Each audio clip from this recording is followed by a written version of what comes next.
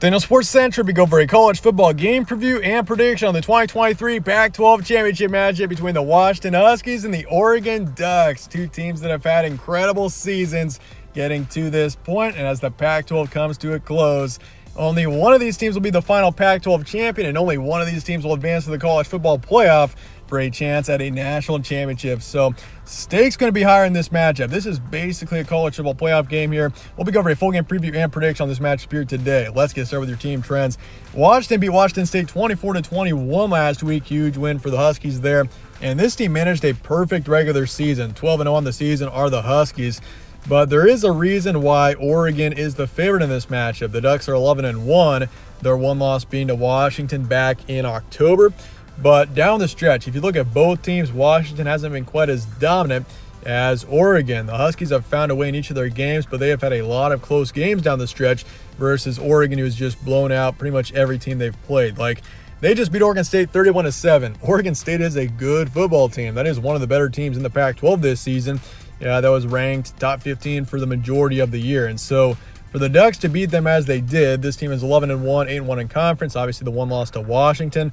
I mean, this is a way for the Ducks to avenge that loss. And honestly, if they can do that, they should very well be in the college football playoff. Games will be on Friday the 1st in Las Vegas. Kickoff is 5 p.m. Pacific. Spread's going Oregon here by 9.5. So, I mean, the Ducks are actually favored by a decent margin here, probably a little bit heavier than at least I was expecting, but it makes sense to see the Ducks as the favorite over under 67 and a half. And the FPI is going with the Ducks as well, right around 75%. Series history Huskies lead at 62 to 48. We saw the Huskies win the last matchup, the last two matchups for that matter, but Oregon has won six of the past 10. Your stat comparison Washington, ninth in points per game, 40th in points allowed. This is the second ranked passing game in the country that has finally changed this past week. I think the Huskies were ranked number one there uh, since probably mid September, I would say, sometime around there. That has since changed, though. Oregon is now the top ranked passing game in the country. Bo Nix has passed up Michael Penix in pass yards. And so that kind of puts it into perspective there. I mean, Washington, for the majority of the season, has been known for their brutal offense, their brutal passing game. Their defense not quite as strong, but uh, they can beat you in the passing game. Well, down the stretch, it's kind of been a different story. This offense hasn't been quite as good. And so that definitely is a reason for concern. And since then, Oregon has passed up uh, Washington in the passing game. Bo Nix has right over 3,900 yards of passing yards. Michael Penix is right below that. So it's not a big difference, but Oregon is now number one there.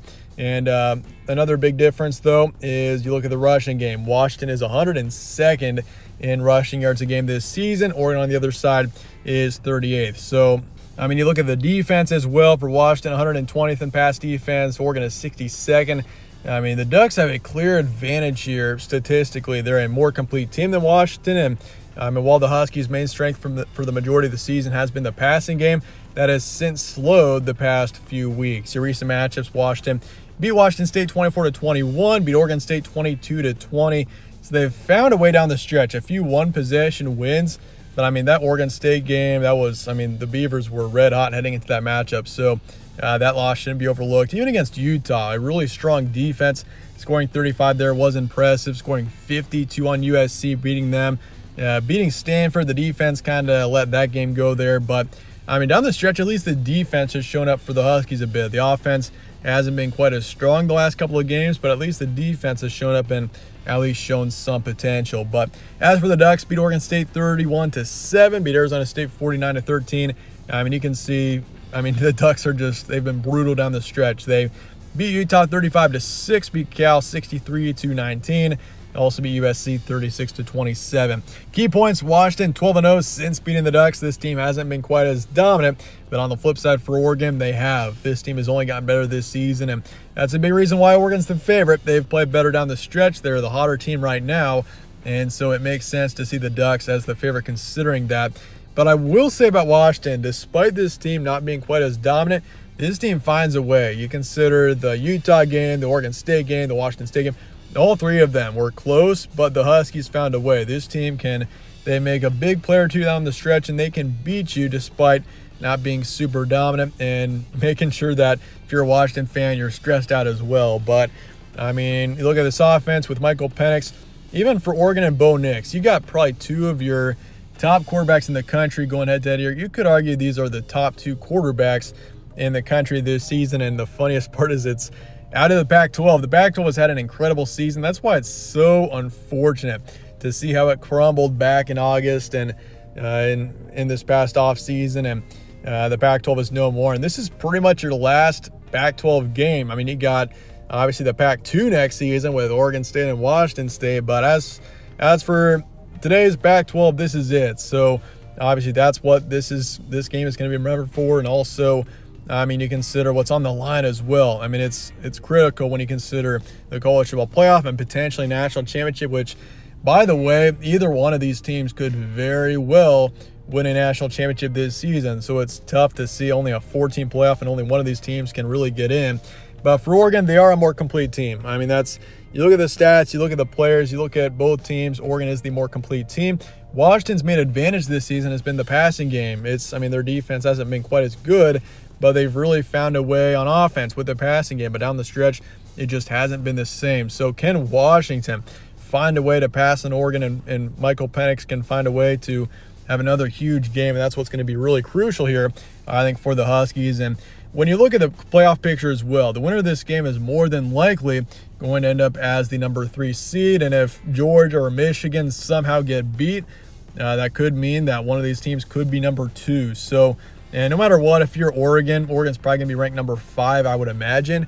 This upcoming Tuesday, uh, they should probably jump Florida State or whoever's number four if they do beat Washington. So number three seed on the line. Don't have to play Georgia in the first semifinal more than likely. So obviously a lot on the line considering that. And so with that, let's get the prediction here for Oregon and Washington. Coming up here in the Pac-12 title game, the final Pac-12 championship. Who's it going to be? I'm going with the Ducks. 38-27 is my predicted final score. It's the way the Ducks have been playing. And by the way, it is very tough to beat a team twice in a college football season. We have seen that so many times over the years and over the decades. And I mean, in this matchup, it's it's that story. And also, Oregon has been playing very well down the stretch, better than the Huskies. So I think Oregon's going to find a way in this matchup. I do think the Huskies hang in there, but I do think that uh, it's it's probably going to be a 10 to 14 point win somewhere in there for the Ducks. Just the way that Bo Nix and the way this team has been playing down the stretch, they've been dominant. They've been brutal to beat. And I mean, you consider the way they just played against Oregon State, a top 15 team in the country. I mean, the Ducks are hot right now. They're going to be tough to beat. So I'm going to say 55 to 60% towards the Ducks, over under 67 and a half. I'm taking the under. I don't think it's going to be quite as high scoring as some might think. Um, but I do think it's still a moderate scoring matchup, and Oregon covers the spread in the end. But no matter what happens here, both teams have had incredible seasons. For Washington to be 12 0 heading into this matchup and Michael Penix and everything should not be underestimated. Incredible season for both teams. I just think Oregon finds a way in the end for this one. But let me know your thoughts in the comments below on this matchup. Pretty much a college football playoff matchup. While Michigan and Ohio State pretty much was last week, this one is as well. Stay tuned for more from All Sports Central. Appreciate you guys all watching. I'll catch you on the next one.